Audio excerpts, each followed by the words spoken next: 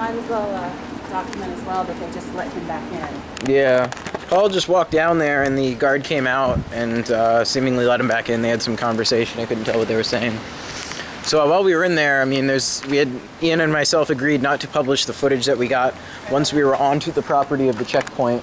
These places are all closed. Yeah, it's, it's weird. And there, there's like stuff in them too, No, but, they're uh, closed. Jean Baptiste Day Oh. is tomorrow, but uh, I guess that's like a really big thing here, maybe. I don't. It's a, it sounds like a. a Maybe it's like holiday. a weekend thing or, or three day day thing. So this is Rock Island area.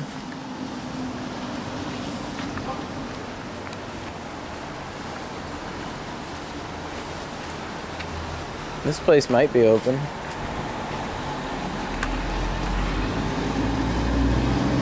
Yeah, there's someone in there. This place is open. Yep, open. This looks like an ice cream place. All these things are without borders, but there's very much a border here.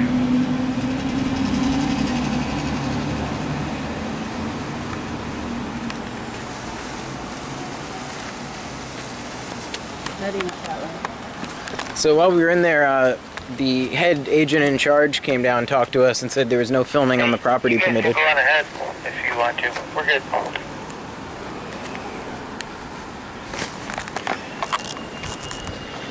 Uh, by we're good, do you mean you guys are going to be staying there a while or you'll be getting out of there soon? Uh, we're gonna be done real soon. Yes. 10-4, we are just up the street a little ways. So, Yeah, you can go ahead and press or whatever you want to do. are they getting out soon? Yeah, they said they were. Oh, good. All right, so we were showed a um, a piece of paper that said like what you're authorized to film if you get permission, and it was still limited. It still said that you couldn't identify agents, you couldn't zoom in on toll booths or the toll booths, Oh, the checkpoint the booths, and it said you couldn't um, There's the pizzeria. also identify passengers, vehicles, identifying info pretty much for anything. So it sounds like it, you can get permission to film at those checkpoints, but you're very limited in what you can disclose about the checkpoints. Um, and yeah, that's it's uh, sounds. They made it seem like they were very nice for authorities with guns uh, compared to Americans. In fact, we saw there's a lot of things that would have been interesting to document, like border patrol agent giving a dog a treat that was coming across the border. Um, we were the people that were detained the longest. Everyone that's come through went through fairly quickly. Everyone else seemed to have passports. We did not present passports. We only had uh, licenses that we used as IDs. Ian did try to use a world passport. That was denied. He was asked for, or wasn't. They said they're going to need more identification, so he presented his driver's license. He's still being held, but allegedly will be out shortly.